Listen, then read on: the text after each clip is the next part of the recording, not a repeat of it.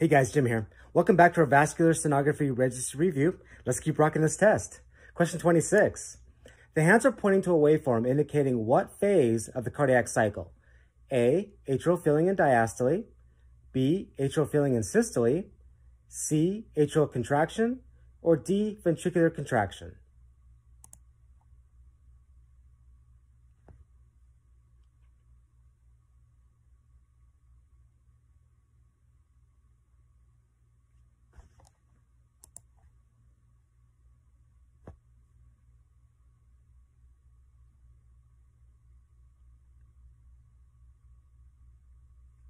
The answer is C, atrial contraction. There are four waveforms in hepatic vein flow. The A wave is caused when the right atrium contracts and causes blood to flow retrograde towards the liver, which will show a waveform above the baseline. The S wave is caused when the tricuspid annulus moves towards the apex of the heart during systole, causing blood to be pulled from the liver to the right atrium. The V wave is caused when the tricuspid valve closes and blood from the liver decreases, causing an equilibrium, and the V wave will be mainly below the baseline. And finally, the D wave is caused when the tricuspid valve opens, causing blood to passively fill from the right atrium to the right ventricle.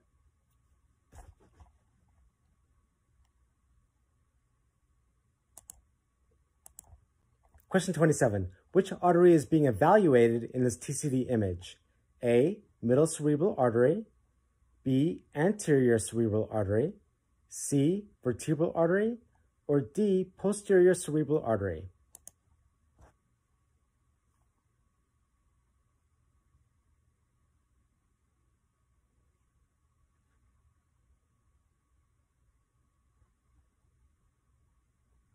The answer is B, anterior cerebral artery. Question 28. What vein carries blood to the proximal end of this structure? A, left gastric artery, B, hepatic artery, C, hepatic vein, or D, portal vein?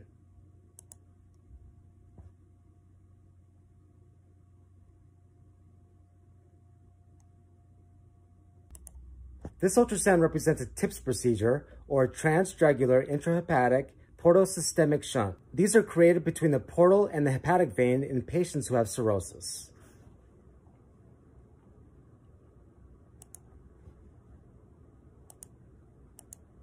Question 29.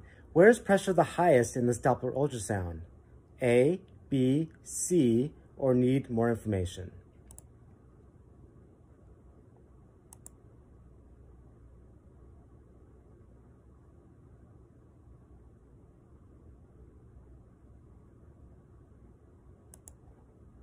Pressure is going to be the highest immediately following a stenosis. So A is the correct answer.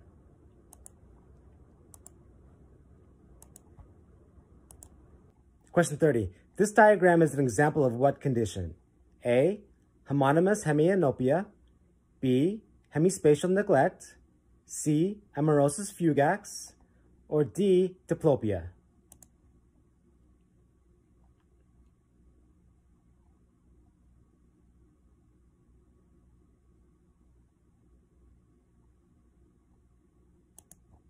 The answer is A, homonymous hemianopia. What happens is you lose the right side vision in both eyes. Question 31. The red arrow is pointing to a hepatic vein waveform occurring in which cardiac cycle? A, ventricular systolic contraction. B, ventricular depolarization. C, atrial repolarization. Or D, ventricular diastolic relaxation.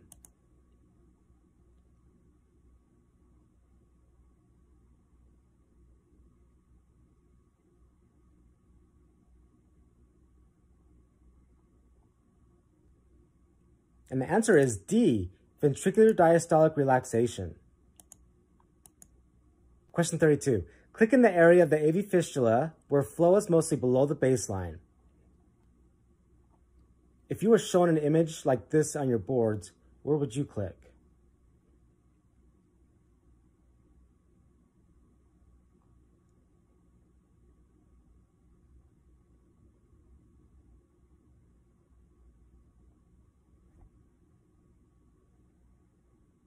Answer is right up here, the venous flow. So you can click anywhere up here and you'd be correct.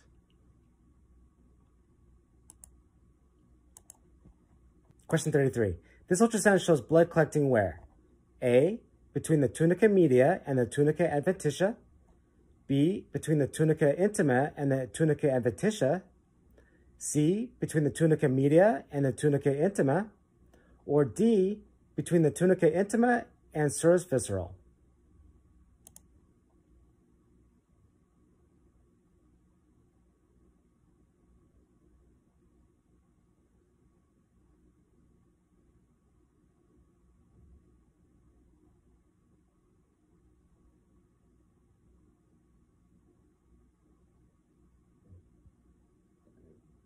The answer is C, between the tunica media and the tunica intima. What happens in dissections is the tunica intima tears and then blood will pool in the area between the tunica intima and the tunica media.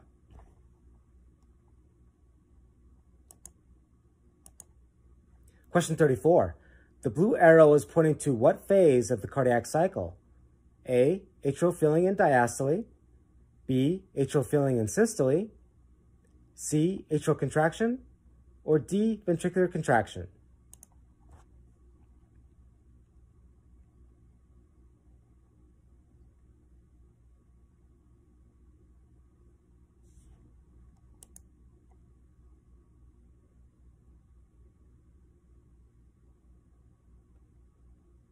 The answer is C, atrial contraction. Question 35. What is demonstrated in this ultrasound? A. Vertebral artery occlusion. B. Ipsilateral collateral blood flow. C. Evidence of PCA flow reversal.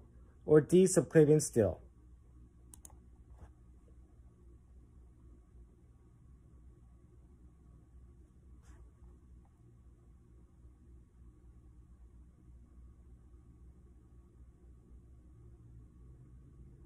The answer is D, subclavian steal. You can see here that there's blue arterial and blue venous Doppler flow.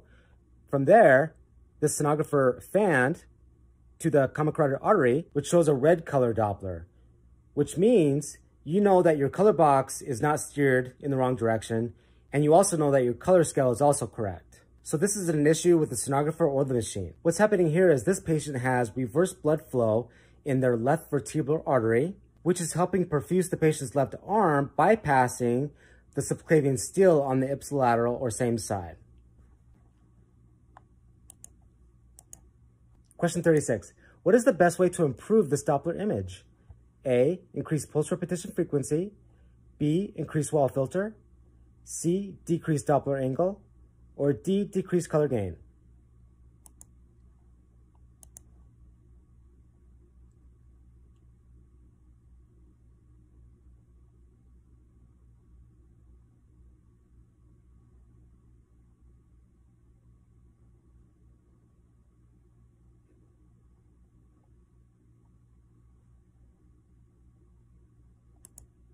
The answer is D, decreased color gain.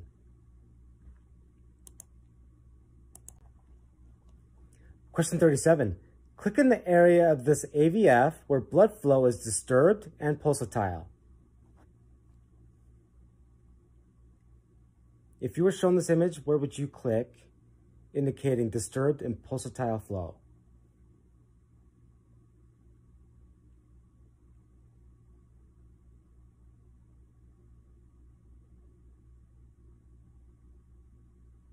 The answer is right here. So arterial blood flow will flow down through the anastomosis into the venous system, causing the venous blood flow to convert from a phasic flow to a more disturbed and pulsatile flow. So anywhere right here would be correct. Question 38. What is the best way to reduce this Doppler artifact? A. Decrease color gains. B. Decrease spectral gains. C. Increase the wall filter. Or D, increase the angle from 60 to 90 degrees.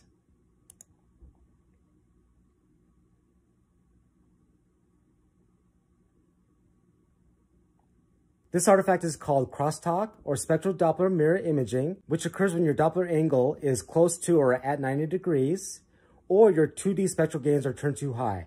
So turn down your spectral gains and or reduce your spectral Doppler angle? So the correct answer for this question is decrease your spectral gains. Question 39. Click in the area where thrombin is injected to treat the pseudoaneurysm.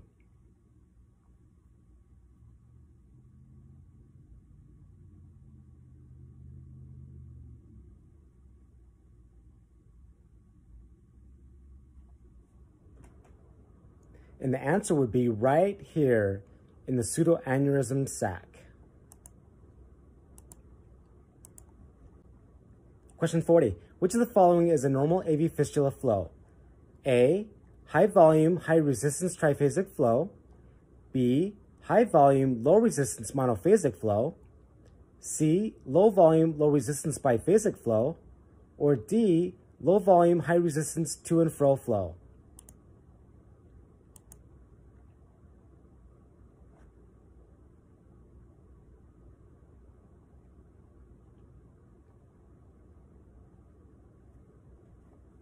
The answer is B, high volume, low resistance monophasic flow. Question 41. Click in the area of this AV fistula where stenosis is more commonly found.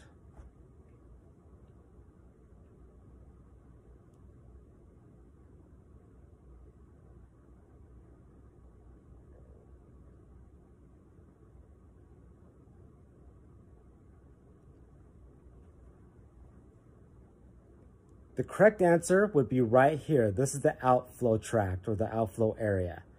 These areas are more susceptible to a stenosis.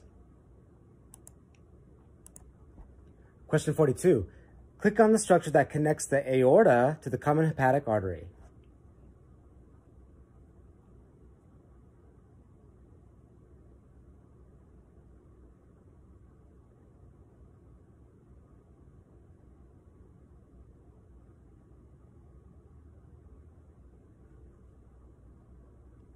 Answer is right here. This is the celiac trunk or the celiac artery. And this will branch into the common hepatic artery and the left splenic artery. So right here.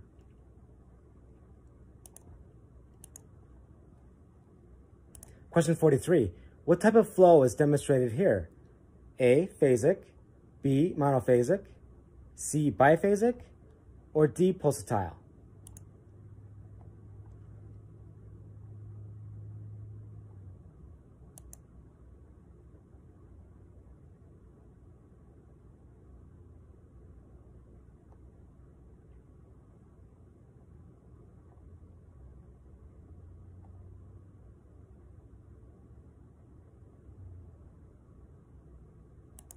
Answer is D, pulsatile, which is caused by high central venous pressures from heart failure. Question 44. Once blood flow enters the area indicated by the arrows, blood flow will turn into what? A, turbulent flow, B, disturbed flow, C, parabolic flow, or D, plug flow?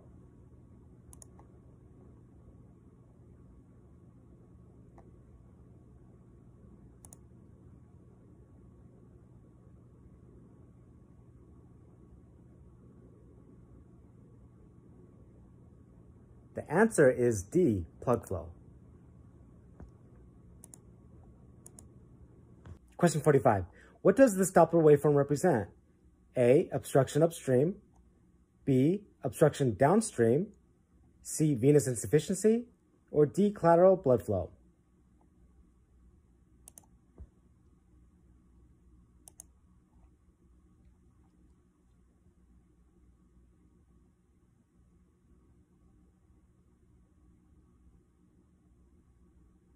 This type of Doppler represents a continuous waveform, which indicates an obstruction downstream. Question 46. A patient presents to the hospital complaining of left arm numbness and left leg weakness. Which of the following below best explains this patient's symptoms? A. Multiple deep vein thrombi. B. Left extremity embolism. C. Right hemisphere CVA or D, left hemisphere hemiplegia?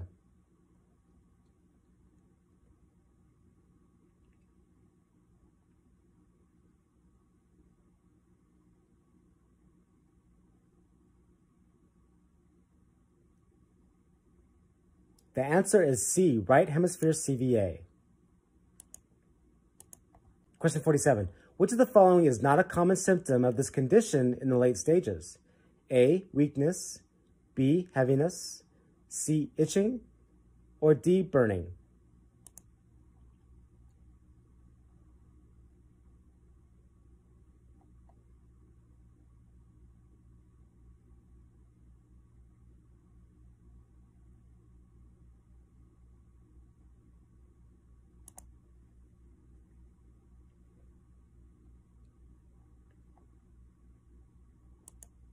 Answer is A, weakness. Weakness is not a common symptom of chronic venous insufficiency. Question 48. This patient presented to the emergency room complaining of extreme left arm pain and pallid looking skin. You perform an upper Doppler duplex and an upper PVR. Based on these findings, which of the following below is most likely the culprit? A. Hemiparesis, B. Hemiplegia, C. Paresis, or D, ischemia?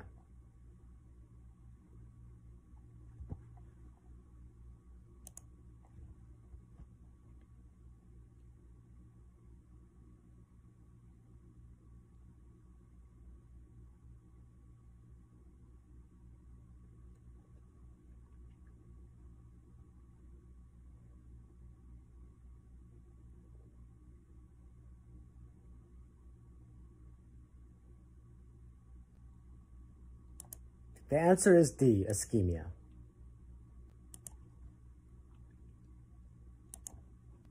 Question 49.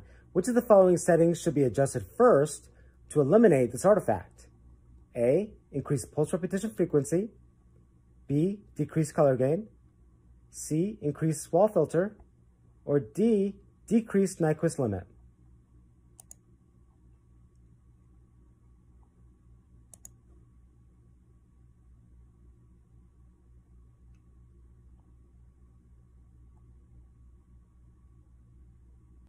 This artifact is called ghosting or clutter artifact, which is caused by low level or low frequency Doppler shifts in the surrounding tissue and making the Doppler system believe that blood flow is within the tissue. The first setting you adjust is your wall filter by increasing it, and this will eliminate your low level frequency Doppler shifts.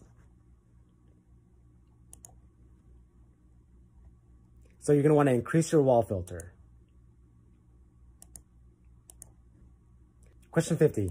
This ultrasound demonstrates a post-op procedure for what syndrome? A. Post-thrombotic syndrome. B. May-Thurner syndrome. C. Blue toe syndrome. Or D. Leriche syndrome.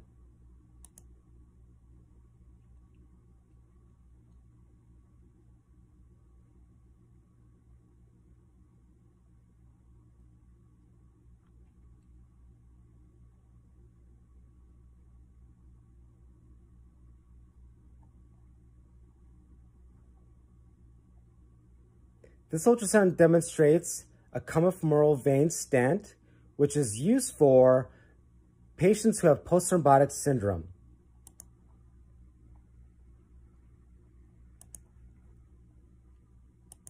Well, this concludes our next 25 questions. However, I have a couple bonus questions for you just in case you're taking your vascular boards here pretty soon. The first bonus question reads, what does the CT demonstrate? A, TIPS, B, IVC filter, C, AAA graft, or D, endovascular aneurysm repair, or EVAR.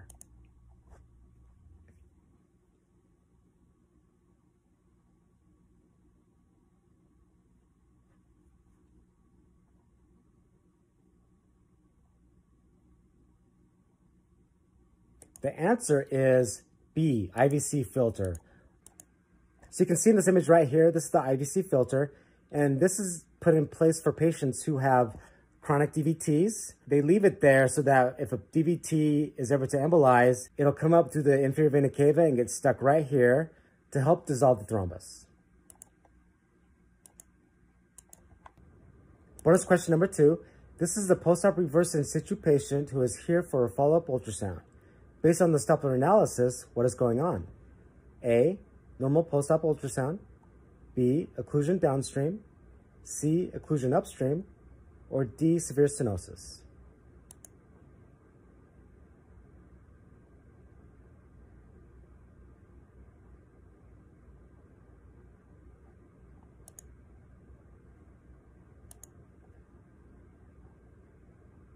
The answer is B, occlusion downstream. Bonus question number three. Where is resistance the highest in this diagram? Is it A in this area, B, C, or D?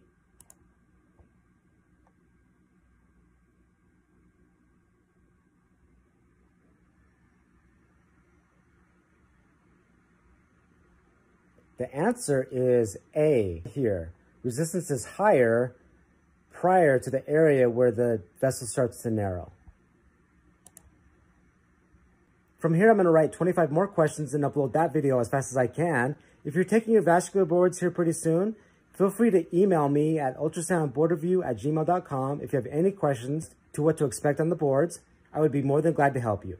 I'm Jim with ultrasoundboardreview.com. Thank you so much for watching.